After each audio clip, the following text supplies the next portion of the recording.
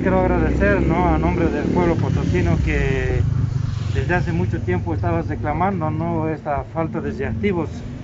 En la mesa de trabajo, en la mesa de salud, justamente se había generado, se había identificado más de 20 problemas.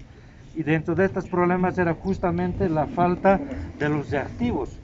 Pero también se había recomendado ¿no? de que estos reactivos no puedan esperar mucho tiempo Sabemos de que son 1.500 reactivos, si no me equivoco, que está llegando, pero esto se va a terminar, si no me equivoco, ¿no? Será 15 días, 20 días, a lo mucho.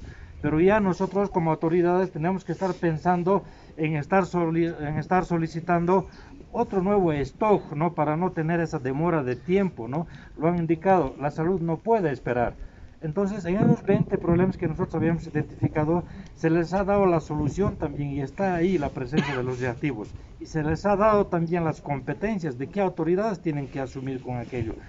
Nosotros una vez más pues agradecemos, ¿no? Yo creo que nos va a ser, ser, de mucha utilidad para la población potosina. Hoy nos estamos batiendo con las pruebas rápidas, pero bueno, estas pruebas PCR para Expert obviamente son de gran utilidad.